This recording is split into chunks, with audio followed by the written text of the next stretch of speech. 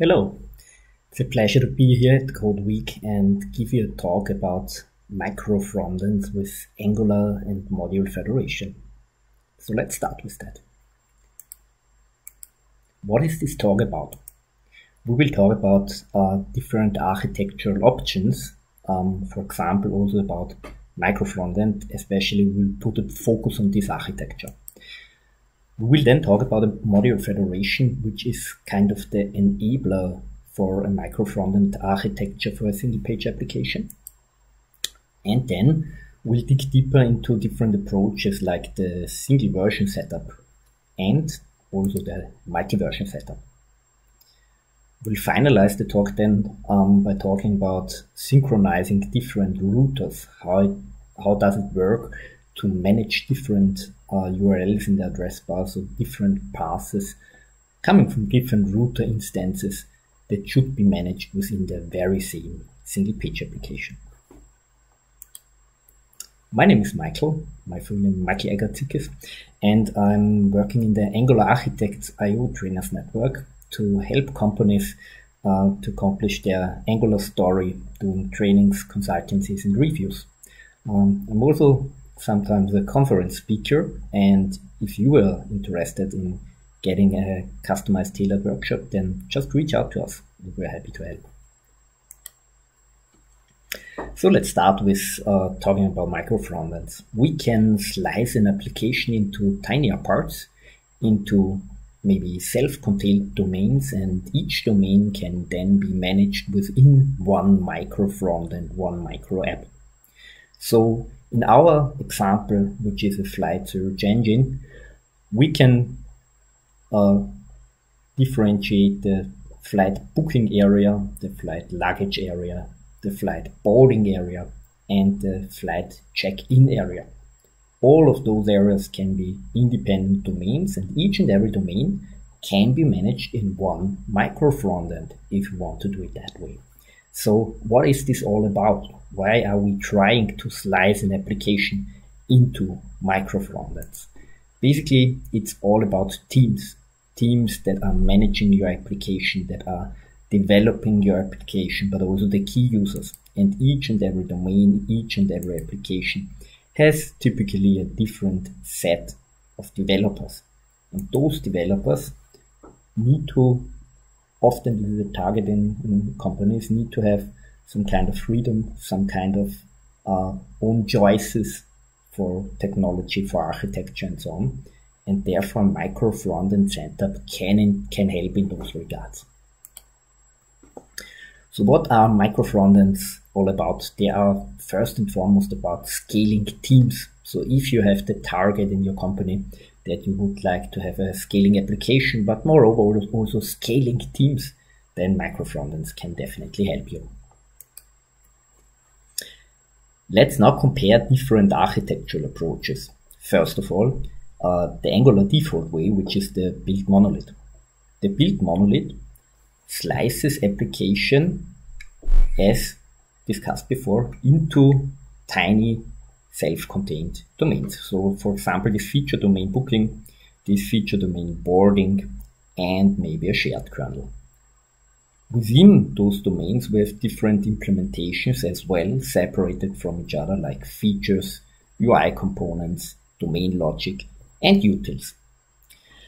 What the build monolith uh, has a, as a special uh, characteristic is that there's one application layer, and this application layer spans horizontally across all domains. That means if there's a change within your code base, maybe you can cache some of those library builds like that feature or that UI library. But at the end, you always need to rebuild the whole application, which is okayish. There's no, you do not need to have any worries doing that, but be aware on any change, you need to build the whole flight application here and deploy it to the server. So everything is known during build time, which is also one of the benefits of this architecture. Now let's look into our code base, how this actually is uh, put together. First of all, let's look into the routing configuration of my application shell. Here you can find some routes. We will discuss uh, the other ones later. But first of all, we will focus at this route actually, this routing object. Um, it defines it that way that if the flight segment occurs in the URL, then normal Angular router lazy loading should happen. A dynamic import pointing in this case to a library of this monorepo and loading a constant, in this case an array of URLs. That means how do uh, those uh, URLs look like actually. We have here routing array. This is one of the standalone component APIs already. Uh, so this standalone API allows us to just lazy load an Angular array of routes.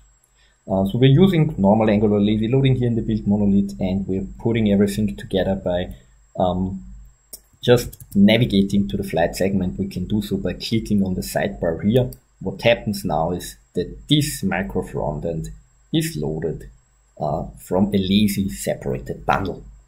Uh, you can you can already see here there's an Angular version installed for the shell, which is the version 14.2.10 and also naturally the micro frontend flight has the very same Angular version because it's the build monolith. Everything uses the very same version. Everything is built in one go, but bundles can be split off and loaded at a later point of time, which is the case here. And here we just have a use case where we can search for flights, we can look up some flights, we can uh, use the router again to navigate to the edit screen and so on. Fine, so let's get back to the home route and also back to our slides. Uh, the next possible architecture is a micro frontend architecture. Um, like you can see it here on the screen, what is the different, uh, difference to the previous slide? Basically, maybe the same features like before, but this time an application for each and every domain or maybe a group of domains in a real use case. Yeah? That means you can slice the application along your domains and it has the benefit now you can build them separately and deploy them separately to the server.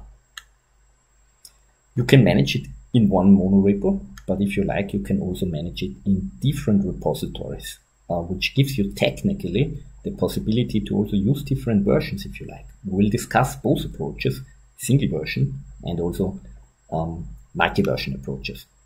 Um, if you manage them, the micro frontends in different repositories, then also uh, be aware that you somehow need to access the shared kernel that can also be managed in one separate repository and then um, published via an npm package and installed in that repo and in that repo.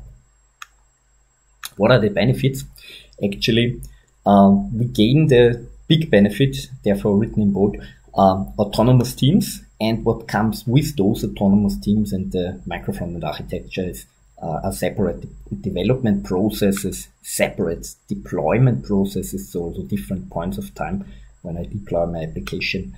Uh, own architectural decisions. So maybe in one application you just have a simple tiny one with, with just uh, a few subfolders and in a bigger application maybe you want to apply um, domain-driven design uh, concepts in your forerunner, and so have a, having a different architecture in place. Um, and maybe you also want to use different technologies. So like having one application written with Angular, another one with React, and the third one with Vue maybe. Uh, if you want to integrate those micro frontends into one window object, into one single page application, then uh, we can work with an application shell actually. So one hosting application that is aware of how to load different micro frontends into its own window object. Um, how does this work? Basically, uh, you can see it here on the slide. We have this um, box around our micro frontends, which is actually the shell. And the shell has then some generic logic implemented on how to load those micro frontends, those micro apps. Uh, basically, there are already packages, uh, npm packages available on the market that can help you exactly with that. So it's not necessary to write everything from scratch. And one of these, uh, yeah, we must really say amazing APIs is uh, Webpack 5 module federation. So it's already, um, Webpack 5 is already used by the Angular CLI since Angular 12. And one of the plugins for uh, Webpack 5 is the module federation plugin that you can use um, to get your microfrontend story up and running. So basically, this is what we like to achieve. We would like to have dynamic imports in our code base again, because this is a JavaScript feature um, that the bundling tools like Webpack and Angular CLI uh, do not like that much. So basically, uh, it was necessary to implement uh, a concept like module federation to allow our bundling tools to tell them actually there are certain parts that you do not need um, to know during build time, but be aware they will be available during runtime. You can load them later on from a, a URL that I can tell you. Uh, as, as an application shell, I can tell you the URL where to load those micro frontends from. So um, the natural behavior, the normal default behavior of, of your bundling tools is that they want to know each and every part of the application at build time. And with module federation, we can find a way out of that and allow runtime integration and therefore different build processes that are put together into one window object. Uh, module federation works that way um, that we uh, talk about a host. So what we normally call a shell is called host um, in, the module federation world. And there's also a remote which we can associate in this case as a micro frontend. Um, basically, we can define some configurations. So the shell can have a configuration uh, where a distinct, um, a specific uh, a remote name points to a URL that can be loaded during runtime, and the microphone frontend, the remote, can expose certain implementations, different ones if you like. And then if we want to put everything together, the shell uh, has the possibility to place a dynamic import to load the remote and one of the exposed implementations, in this case, my component here. So everything is put together, the configuration in the shell, the configuration of the remote, and therefore the shell can access the source code. Um, that actually comes from a very different build process. Um, how do we get the URL? Uh, actually, you can use discovery services or even server-based configuration for that. Uh, at the end, it's just a JavaScript file that is created within the build process and loaded via a script tag. That's basically all the magic that you need here. We can also share libraries. That means we can define packages that um, should be shared across hosts and remotes. Um, and therefore, for example, the Angular framework is an important thing to share so that everyone can, can use the very same instance, including all the uh, uh, root level services and so on. This is important. It only works within the same version. Then you can reuse uh, services across different applications with a different multi-version approach. Um, we can do this as well, but the story works a little bit different. We'll talk about this later. How do we deal with version mismatches actually? Uh, we can select the highest compatible version. Um, this is the default behavior. So if the shell requires, for example, version 10 of a, of a specific library and the micro frontend requires 10.1, uh, then in this case 10.1 is chosen because this fits for both for shell and the micro frontend and this version, the 10.0 is kept. Um, actually, if there is no highest compatible version between uh, two uh, remotes or a host and a remote. So like in this case, 11.0 and 10.1, then in this, this case, both are loaded. So be aware of that. Then you have two different versions of a specific library loaded in the window object. It can also be the Angular framework that is then loaded twice or even more often. Um, if we do not want to um, or do not strive for that uh, situation that we load uh, different versions of a certain dependency, then we can set singleton, the configuration option, singleton to true. Um, and we even have a uh, possibility uh, to set a, uh, an additional flag afterwards. So first of all, singleton true would lead to the situation that if one part of the module federation configuration needs uh, version 11.0 and the other one uh, 10.1. In this case, uh, only 11.0 is loaded. 10.1 is skipped, but nevertheless I have a conflict here. Yeah, be aware of that because it's no common version, no common version could be found nevertheless. Only one is loaded because of singleton true. You can even set strict version to true. This would lead to the situation that you do not receive a warning uh, in case uh, you have a conflict here, but um, it would even raise an error here. So in this case, same situation. 11.0 would be loaded, 10.1 would be skipped. Uh, it's even allowed to define more relaxing version uh, requirements like that. My library required version, beginning with major, major release 1 uh, and including uh, major release uh, lower than 11.1.1. Um, basically, how does this work? How does how can I tell as a developer um, the Angular build process to use a module federation setup. Basically, uh, we normally do not directly work in a Webpack configuration, so that's maybe an open question right now. Angular, how does it work? Angular, the Angular CLI, and module federation uh, somehow playing together. Uh, basically, the Angular CLI is normally the tool we're working to uh, support our developer development process, um, generating new stuff, building an application, and so on. Behind the uh, covers of the of the Angular CLI is, is Webpack 5, so it's used internally, but typically we are not using it um, most of the time, at least not not directly. Um, that means there's somehow uh, a barrier between our implementation and the internal usage of Webpack 5. Uh, so the question is, how can we uh, add uh, our module federation configuration to the Webpack 5 setup that the Angular CLI uses per default. Um, and this can be done with a custom builder. So with a custom builder, I can add an additional Webpack config that is then merged together with the default one. And basically with that, I can tell uh, the Angular CLI on how to build my application, including module federation support. Um, basically that you do not need to uh, write everything from scratch as mentioned. Um, we have some packages prepared like Angular Architect slash Module Federation. This is the um, was the first package on the market um, supporting um, Module Federation for Angular. It's still actively maintained, of course, and we help you with that to get your story up and running quickly. So let's look into that actually. Um, it offers some features. It creates a skeleton for your Module Federation config. Uh, it installs a custom builder so that you can add that configuration to your build process. And then uh, basically you typically assign a new port to ng-serve so that you have no collisions between different applications. And then that's basically all. You can start the application and use Module Federation, the newly created Module Federation setup together with your application. Um, we can get this up and running by using the ng-add command um, for this package add Angular Architects module federation for the project shell in my case, for example. Of course, the other applications need a configuration as well.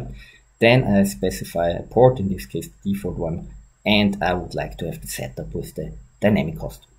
Um, basically, then I can uh, use the newly, newly and the newly created and adapted files like the webpack config and do the uh, concrete setup uh, define the concrete setup that I need to have for my application.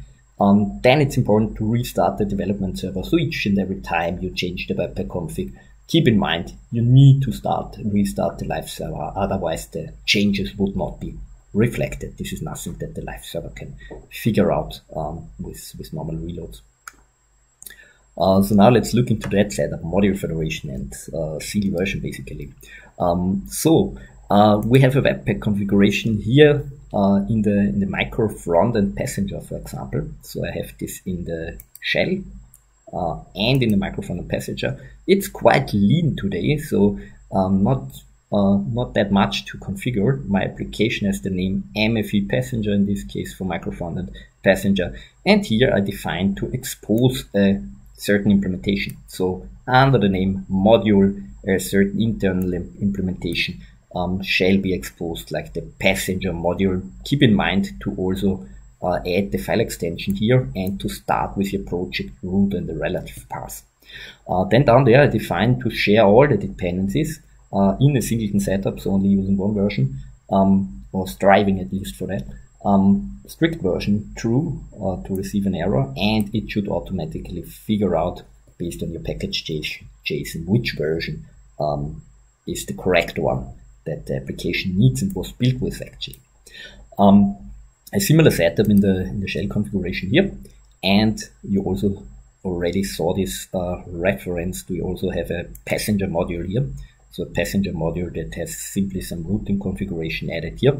Um, that's basically all for the moment. So we have our shell application here. We can add another tab and open also our micro front end here. So here's how the passenger application looks like in the standalone mode. I can use routing here, but now I'd like to add this to the to the shell application. And uh, again, just a click on this link away so I can navigate to passengers. It opens the very same UI, loads it from a different bundle, uh, and basically adds it to the user experience of your application shell. That's quite nice, isn't, isn't it? So it runs here in the very same version. We can see it here, uh, 14.2.10 in both cases for the shell, but also for the micro frontend passenger. You can look up some passengers here. And even, of course, the routing works. So you can navigate to the editing screen. So sub routing um, in within your um, micro front end works, including lazy loading. So that's quite nice. So this is the second possible approach. Build monolith with lazy loading was the first. The second now is uh, a single version setup with module federation. And now let's look back to the slides. We can also use a multi-version, even multi-framework, so React and, and Vue would work as well, uh, setup. But how does this work? And how does it compare to the single version setup? What's different? Different. You can see Frankenstein here. so basically, this is a good comparison. Um, we are putting together things from different build processes, even in different versions, and uh, yeah, somehow build our application like Frankenstein was built. Um, so be aware of that. Maybe it's not the, the initial architectural choice, the default one that you normally would choose, but you can choose it if you have demand um, to integrate applications that are even written in different Angular versions. So how does this work? Technically, it's something different. In the single version approach, we just added a module via lazy loading coming from a different build process to the very same application infrastructure like the shell, also to the very same dependency injection tree of Angular. So we can use all the very same services of the shell like the router, uh, global state services and so on. In this case, it's different. So in this case, we are bootstrapping different applications. So each version setup, each different version setup requires to bootstrap an app. Uh, here the Angular application, but also uh, a React application could be uh, started and wrapped into a web component. Um, so we are loading basically web components via module federation. This is one possible way to go. Um, it can work that way again with a dynamic import. We can use a bootstrap method to start the application actually. Um, but before we do this, we need to add the tag to the DOM uh, and basically then the application can bootstrap and replace the tag with the logic of our application. Um, can also be self-bootstrapping, so without a method call, by just loading the new bundle. Um, the idea now is that we wrap the whole application into a uh, custom element into a web component. Um, that way we could find a common generic interface that works independently of the technology used behind um, the covers of the web component. So it would work for Angular as well as for React and Vue. So we have a common interface and this can be loaded via a wrapper component. So that architecture would be possible. A shell that uses a specific version of Angular and the micro frontend one as well then a different Angular version used by Microfrontend 2 and 3, and finally uh, a React implementation as Microfrontend 4. Uh, be aware of the challenges though. Um, the bundle sizes are bigger because actually we have not only one framework but um, but several. So the lowest possible bundle size is likely in the build monolith. Then uh, in the single version setup, the highest bundle sizes in the multi-version setup if it comes to different versions and different Angular frameworks that need to be loaded in parallel. Uh, also be aware of multiple routers. This is also a tough challenge because um, the browser only supports uh, actually one um, one router typically by, by having one address bar and one URL is, that is managed there. So uh, different router instances that are required if you bootstrap different apps um, would lead to uncoordinated changes of the address bar. And also you need to bootstrap several Angular instances. In this case, then uh, you also need to be aware of the uh, platform object and the ng zone uh, that they are shared actually in at least some cases. Um, to not uh, again um, make it necessary to, to learn everything from scratch and implement everything from scratch. There is again another package beside at Angular Architects Module Federation, this time at Angular Architects Module Federation minus tools, and it can help you with the multi uh, version, multi framework setups. Uh, basically, we have five steps uh, to actually get into uh, a running configuration for that. We add, uh, for example, Angular elements to wrap our application with custom elements. Um, then we can uh, basically add or request injector via dependency injection, and then do our custom element wrapping. So first of all, this helper method where you can pass in your component reference, typically the root component, and the injector reference, not of the shell in this case, but of the macro frontend infrastructure itself. So this bootstrapped application here. And then you can use the return value here uh, to specify it in the browser with custom elements defined and define also a tag name for your newly created Angular element. This time we do this in the ng-do bootstrap. That would mean as the script is loaded, basically also uh, your custom element is registered. Then we add the tag to the browser, uh, not to the browser, to the index.html file, of course. And basically this would lead to a bootstrapping of your application then. Then you need a module federation config. This time you see an extended version, a little bit more low, le low level in this case, really working with the module federation plugin. This is also possible, um, where you can um, define even more options, also the remote entry name and, and so on. In this case, we are exposing um, the, the whole application bootstrapping uh, implementation. So not only a distinct component or module, but this time actually the whole bootstrapped application.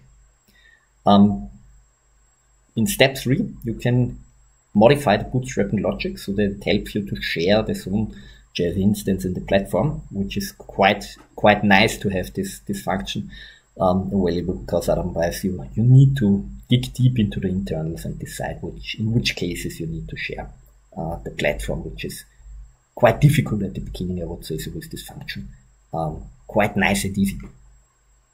You can differentiate between whether um, you bootstrap the shell or the micro app in this case for the bootstrapping configuration. Um, how does routing now work in a multi-framework uh, setup and uh, also multi-version setup? Uh, basically, we can uh, first of all add a routing configuration to the um, to the routing config of your shell, and here you use a, web, a wrapper component. That means if a certain segment uh, is used via the router navigation in your single page application, then uh, it first loads a web component wrapper, which is uh, part of, a, of the library again, but used in the uh, in the application shell. And here in the data block, you can specify the configuration that should be used to load the micro app. So where can the remote entry be found? How is the name of the remote app? Which exposed part do I want to load? And what's the name of the custom element tag?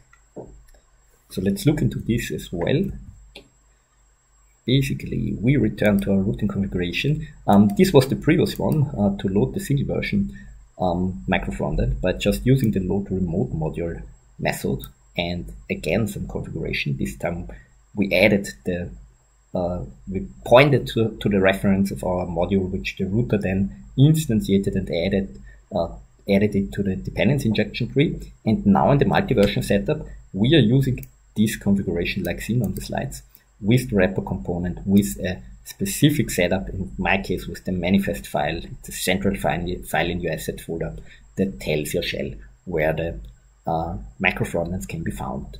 So you can even change this um, without a rebuild, or you could read the data from the server as well, would also be fine. Um, so with that option, we now can even load a multi-version macro frontend so in this case, look at the version here, 14 to 10 in the shell, and here 13, 3, 11 in the macro frontend. So different versions of your Angular application, basically, you can look up some bookings in that micro front end. You can again use some uh, navigation to navigate to the editing screen. And maybe you have already seen the URL changes up here and somehow we could uh, use a, a, technique to compose URLs together, um, different path setups, or different segments for the shell and for the booking micro frontend. So in this case, we're really working with different router instances. So let's talk about this as well. Basically, some facts, uh, several bootstrapped applications are here in place uh, with different router instances, only one address by the browser. So that's an issue. So default behavior without any um, configuration and setup would be that the address bar is overwritten by the shell, then afterwards uh, by the micro frontend, and the, the same procedure repeats. And basically, this would lead to errors for, for your different router instances um, if you used forward and back button, um, it wouldn't work on reloads to actually get exactly back to that view where you navigated before the reload. So quite annoying and quite an issue for multi uh, framework, multi version implementations. So you only have one URL, so URL, so the default behavior is that the URL gets overridden without coordination. And that sounds like chaos, right? So we would like to avoid chaos likely for business applications or for any application actually and and therefore uh, yeah we need to find a good concept for that and a good concept could be that those different urls like can see it here on the slide uh, microfrontend 1 article search for example and microfrontend 2 invoice edit uh, id number 8 um, that we somehow could compose them into one um, URL format that is capable of managing both URLs. And we can use the concept of Angular's named router outlets. And uh, in this case, it's more than that. So it's not baked in into the Angular router. In this case, we're using only the same idea, the same composition strategy in the address bar, but um, with a different implementation that also supports, in this case, multiple routers. So in this case, you can put something together like this. Uh, the parentheses here and uh, two slashes in between and compose a full URL. You can do this with a package that is currently in beta stage. So at Angular Architects micro app will help you with the routing story and also a little bit of state management baked in via custom elements, uh, custom events. You can use it that way. You can add micro app routing module for shell to your shell application and give it a name, like shell in this case, for example. That's the name that is then also present in the URL as a prefix for, for your path. And the same for the micro frontend, for the micro app by using micro app routing module dot for micro app. And then also specifying a distinct, a specific name actually. And that's basically all to get the support for coordinated different router instances. So let's look into that basically I already added this to this example application here for the shell and in my second repository here for the micro app. That's basically all. And then you can um, actually have such a composition like this. I can reload my application. I can go back to the bookings and basically everything works. Everything um, related to the URL management is now baked in and visible in the address bar as well. So the key takeaways are um, please define your architecture targets. That's the most important thing to uh, actually decide do you need a build monolith, do you need a micro frontend setup in single version or in multi uh, version uh, configuration. Uh, that's basically most important uh, for you is to really specify what do I need to have in place is it fine for me to do rebuilds on change, on each change? Is it fine for me um, to work with, with different build processes, but in, in a single version setup where I can have different deployment uh, points of time as long as the um, version stays the same. And even the maybe most challenging architecture in, the in the Angular ecosystem or in the single page application ecosystem right now is the multi version um, setup, but we uh, saw an, an, up and running example, so it's definitely manageable also on an enterprise level for your enterprise applications. Uh, so my message uh, to you is please decide whether you need to show uh, also one or more micro at the, at the very same point of time. So if it's only one micro frontend, you can maybe even choose an easier strategy uh, for routing where certain segments are uh, managed by the shell and other segments of the very same URL are managed by the micro. Um, but if you run into that situation, supporting even different uh, micro at the very same time loaded into your application shell and also shown on the screen, then in this case, maybe such a concept like like seen uh, before can can help you in, in those regards.